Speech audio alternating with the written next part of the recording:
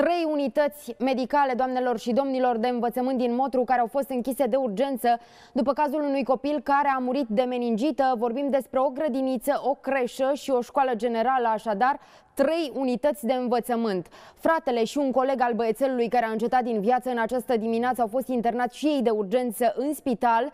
Colega mea, Gabriela Mladin, are mai multe detalii despre acest subiect. Gabi, explică-ne, te rog, ce se întâmplă în acest moment, câți copii au ajuns la spital și cât de mare e pericolul ca și alții să fi contactat acest virus. Bun găsit, uh, da, în urmă cu o oră la Spitalul din Motru uh, s-au prezentat uh, doi copii, colegi cu cel care a decedat în această dimineață.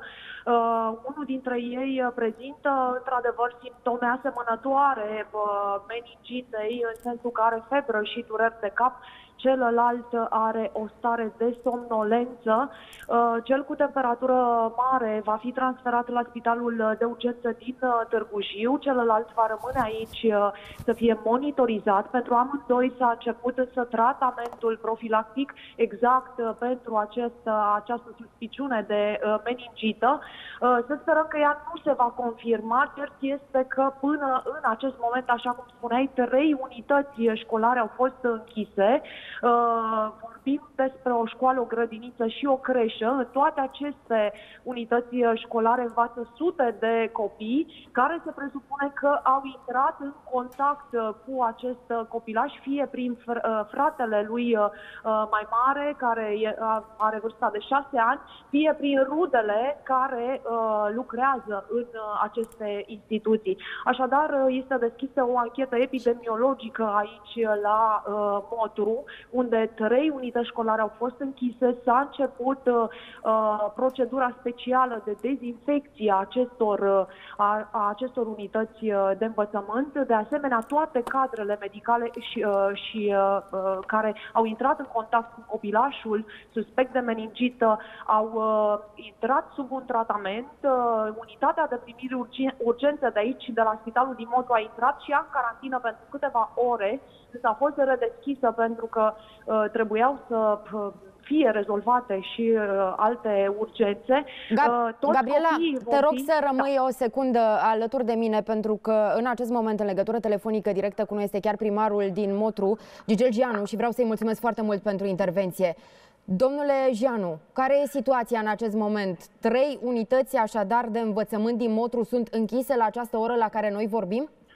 Uh, nu, nu, interpretați greșit. Uh, programul s-a terminat, evident, se termină și uh, copiii vor pleca acasă, dar împreună cu conducerile uh, celor două grădinițe am stabilit ca pentru mâine să nu mai primim copiii la grădiniță și să facem un program de dezinfecție în toate sălile și în tot, toate spațiile ce aparțin acestor grădinițe. Adică nu mâine vor fi închise din ceea ce înțeleg.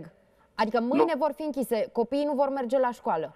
Doar mâine copiii nu vor veni la grădiniță pentru că am considerat oportun, dacă tot există o suspiciune de meningită, pentru că încă nu a fost confirmat uh, acest diagnostic pentru băiețelul care a decedat, am uh, considerat oportun, totuși preventiv, să luăm această măsură pentru o zi, să închidem, uh, să nu primim copiii la grădiniță V-ați și exprimat să facem... așa, pentru o zi nu primim copiii la grădiniță. Asta înseamnă că nu vorbim despre o grădiniță, o creșă și o școală, ci despre o singură grădiniță și atât? Nu, nu, nu, cele două grădinițe și creșa. Deci grădinița numărul 7, grădini... unde, uh, unde era băiețelul care a murit, grădinița numărul 1 și creșa pentru că Uh, această instituție, creșa, este în aceeași clădire cu grădinița. Uh, trebuie să vă spun că băiețelul mai are un frate mai mare, mai mergeau la clubul elevilor, aveau contact și cu alți elevi de vârsta lor și asta, este, asta a fost logica pentru care am uh, luat această măsură preventivă. În momentul acesta, dumneavoastră îmi spuneți că pentru copilul care a decedat nu a fost confirmat diagnosticul de meningită. Care sunt declarațiile medicilor?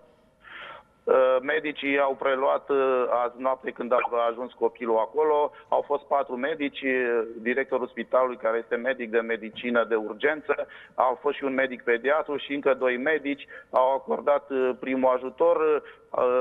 Au, băiatul a intrat în stop cardiorespirator, a fost resuscitat, nu s-a putut face nimic și acum așteptăm rezultatul de la necropsie. Ce vârstă avea copilul care a decedat? Patru ani patru ani. Și fratele lui în acest moment este internat în spital, înțeleg? Nu, nu, a fost la un control, nu este internat. Medicii au dat voie să plece acasă? Da. Asta înseamnă că simptomele nu sunt atât de grave? Nu, nu. Cei care își aduc copiii în fiecare zi la cele două grădinițe și la creșa despre care îmi vorbiți, domnul primar, ce trebuie să facă în momentul acesta? Evident, ca măsură preventivă, pe lângă faptul că îmi spuneați, mâine nu vor veni la grădiniță pentru că se va face acolo dezin dezinfecție. Uh, Recomand... Practic se va, se va uh, igieniza spațiul respectiv. Re recomandarea noastră a cadrelor uh, care lucrează la cele două grădinițe a fost ca uh, în ziua de mâine să meargă cu copiii să facă un control medical la medicii de familie sau la uh, medici specialiști. A fost și Direcția de Sănătate Publică în zonă, la spital și la grădiniță.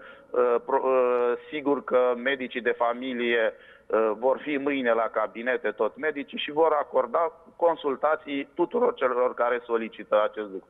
Din datele pe care le aveți până în acest moment, există semnalul că am putea vorbi despre o epidemie?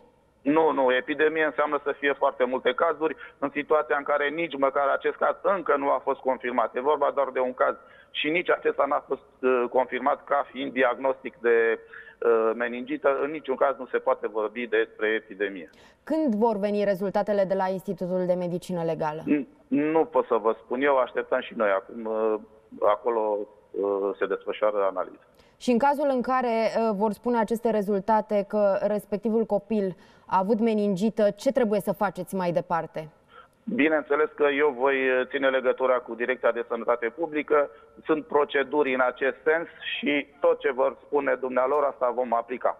Preventiv, vă spun, am luat decizia împreună cu directorii de, de grădinițe ca mâine să avem un program de dezinfecție a tuturor spațiilor. Părinții ce v-au spus? Sunt speriați? Bănuiesc că un astfel de caz șochează în primă instanță. Uh, numai faptul că a avut loc un caz chiar și neconfirmat și uh, vedem cât uh, amploare a luat în media, este evident că uh, existând o suspiciune a trebuit să luăm măsuri pentru ca să evităm uh, propagarea acestei boli, răspândirea. Și uh, mâine, concret, ce se va întâmpla uh, la grădiniță? Explicați-ne puțin care e procedura. Deci mâine, uh, conducerile celor două grădinițe au luat măsuri să uh, dezinfecteze absolut toate spațiile uh, clădirii, uh, locațiilor respective. Asta înseamnă că după uh, această procedură, practic nu mai există urmă de pericol în școala respectivă, în locația respectivă. Da, exact. Și dacă mai sunt copii uh, care, să spunem că au contactat virusul și se întorc apoi la școală, e din nou pericol? Că e un caz uh, despre care trebuie să vorbim. Vă pun destul de multe întrebări, îmi cer scuze. Am înțeles uh, interesul presei, uh, interesul tuturor până la urmă. Ăsta este și motivul uh, logica pe care am mers atunci când am stabilit ca mâine să uh, avem dezinfecție, copiii să nu mai vină la grădiniță și să meargă să consulte un medic uh, de familie sau medic specialist și în situația în care uh, medicii respectivi constată, au o altă suspiciune să, să procedeze, ce, să facă ceea ce trebuie, astfel încât, dacă ar mai fi vreun copil bolnav, acela să nu se mai întoarcă în comunitatea de copii la grădiniță. Vă mulțumesc foarte mult, domnule primar uh, Gigel Gianu, primarul